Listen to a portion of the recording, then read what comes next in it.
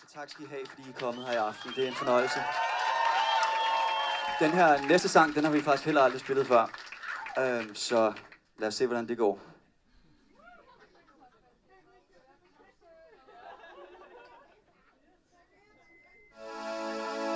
You tell me in so many harsh words In your crimson lips I go Cause you were right and I